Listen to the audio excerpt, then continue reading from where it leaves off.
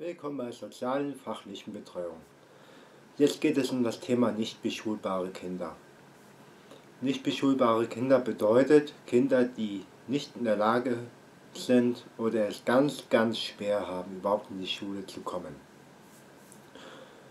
Das kann verschiedene Punkte beinhalten wie Mobbing in der Vergangenheit, Kind traut sich nicht zur Schule, hatte ich bis vor kurzem, ich hoffe, das wird auch bald funktionieren. Also ich drücke dem Kind die Daumen. Ähm, es gibt aber auch gesundheitliche Gründe, ähm, dass man nicht in der Lage ist, zur Schule zu gehen. Und ähm, da muss man als Eltern wirklich die Hilfe äh, vom Jugendamt in Anspruch nehmen. Dafür sind die da, ähm, um da irgendwie eine Möglichkeit zu finden, dass das Kind vorbereitet wird auf die Schule und ähm, dass es wenigstens überhaupt äh, den Nährstoff bekommt, auch wenn es das erstmal nicht begreift, erstmal böhmische Dörfer versteht. Aber dass es den Nährstoff erstmal hat und sieht.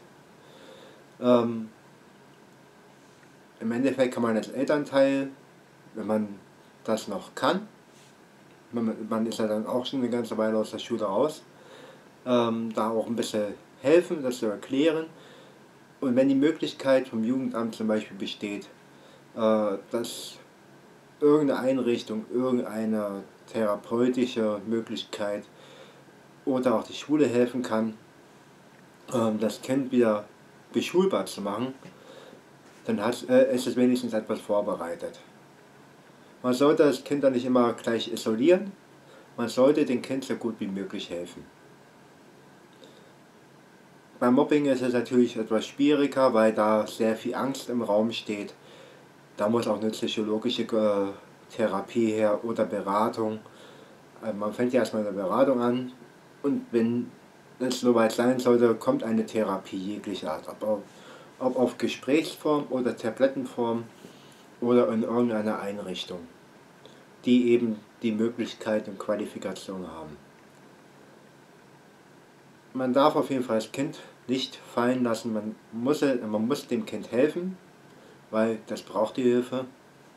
Jugendamt hilft gerne und ähm, Psychologen und Ergotherapeuten mit, äh, gibt es wirklich mehr als genug. Die wissen, was sie machen und die können auch sehr gut helfen. Für Ergotherapie gibt es immer verschiedene Sitzungen. Wichtig ist bei Ergotherapie, dass der Haken äh, damals war es, glaube ich, Psychologie drauf stand. Ich weiß nicht mehr, wie es heute äh, auf den äh, Überweisungsschein ist. Der Überweisungsschein wird vom Hausarzt gemacht oder vom Kinderarzt. Und äh, da muss man quasi zum Arzt gehen und ähm, da sich eine Überweisung geben lassen. Und dann kann man mit der Überweisung zu einer Ergotherapie mit psychologischer Beratung, Therapie, beziehungsweise auch den Psychologen, der dann auch nochmal sein Resultat eben abgibt. Ja, das war zum Thema nicht beschulbare Kinder. Ich wünsche noch einen wunderschönen Tag.